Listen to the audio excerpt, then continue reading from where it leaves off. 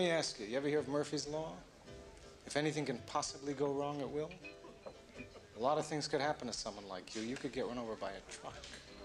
The gas heater in your apartment could blow up, or you could lose a wheel going down the freeway at 80 miles an hour. You gotta remember that. The only law I know is Jack Murphy's Law.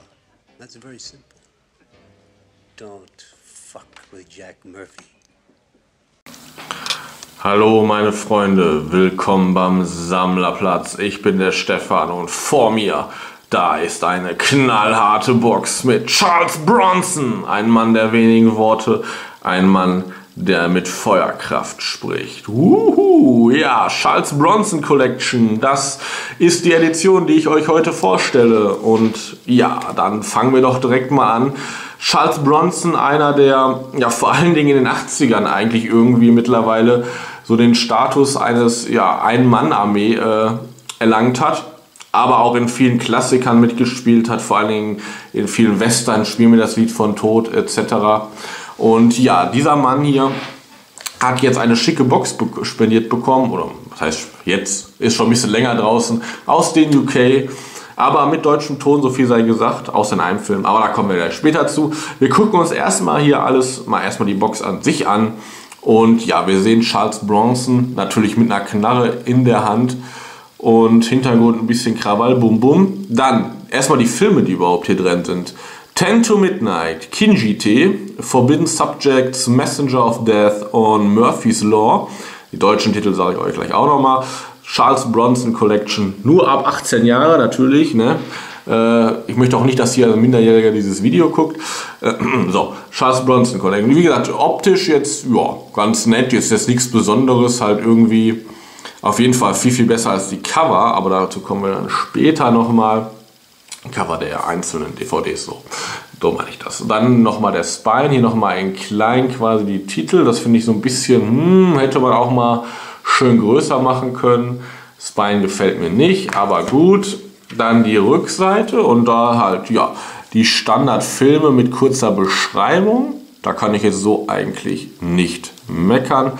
Wie gesagt, hier unten noch mal ein paar Infos. Ich weiß jetzt nicht, ob die Kamera ist wahrscheinlich zu klein. Auf jeden Fall bis auf Kinji-T äh, sind alle Filme auch mit deutschem Ton dabei. Also das heißt, man kann in dem Fall wieder gut nach UK rüber gucken, wobei Leute, auch mit einfachem Englisch sind diese Art von Filme zu verstehen. Ne? Er ist nicht Shakespeare.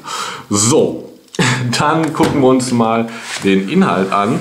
Und da muss ich leider ein bisschen meckern, denn das sind diese alten typischen MGM-Cover und die finde ich in der Regel alles andere als ja, kultig, sage ich mal. Wir haben hier einmal Murphy's Law. Ach man, die Knarre ist aber auch schon. Naja, wir wollen ja keine Propaganda für Gewalt machen. So, ähm, dann, äh, ja, die alten MGM-Cover sind in der Regel immer ein bisschen, ja, langweilig, standardmäßig. Äh, die Rückseite, da habe ich jetzt, äh, kann ich jetzt nichts aussetzen. Ähm, genau, dann hier Messenger of Death. Oh, das finde ich auch so ein, puh, so ein, ah, so ein 0815 Lame-Cover. Ja. Also der Film heißt, glaube ich, wenn ich mich jetzt nicht irre, im Deutschen. Ähm, ich habe keine Ahnung. Äh, der Film heißt auf jeden Fall natürlich, natürlich äh, ähm, Murphys Gesetz im Deutschen. Kinji-T heißt auch Kinji-T im Deutschen. Ähm, ach, das ist auch so. Mh. Hm. Das sieht aus wie so eine alte, so, irgendwie so eine billige Soap aus dem TV irgendwie. Ne? Wenn die Knarre nicht wäre, irgendwie so, so Denver-Clan-mäßig. Ne? Ah. Ten to Midnight heißt ein Mann wie Dynamit. Äh, so sieht das Cover auch nicht aus, aber gut. Mm. Äh, Rückseite, aber die Rückseite brauchen wir euch immer nicht zeigen. Diese seht schon Soundtrack German. Alles kein Problem. So, wie heißt denn nochmal Messenger of Death auf, auf, auf Deutsch? Ich weiß es nicht. Ist auch eigentlich wurscht. Ähm, die Filme haben alle im Prinzip denselben Inhalt. Es geht um Selbstjustiz, irgendwo ein bisschen und um Ballerei. Auf jeden Fall sehr nette Action-Vehikel aus den 80ern. Alle Filme sind übrigens aus den 80ern. Alle von Canon, alle, alle von demselben Regisseur. Und ihr wisst, ich mag Canon-Filme und mag auch diese Art von Stil. Von daher für mich sehr zu empfehlen, für euch auch. Müsst ihr auch mögen. So, ähm, ja, wie gesagt, bis auf Kinji T alles auch auf Deutsch. Optisch, die Collection selber, die Box finde ich, find ich schön, also kann man, kann man auf jeden Fall so machen, gefällt mir.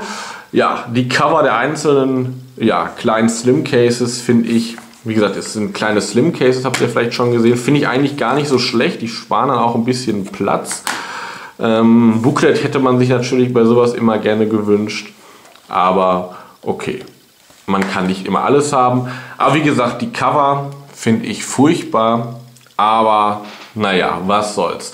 Also, jetzt kommen wir zum Preis. Das Ganze hat 12 Pfund oder 10 bis, ich glaube, 10, 11, ich glaube, so 11 Pfund gekostet, weiß ich nicht.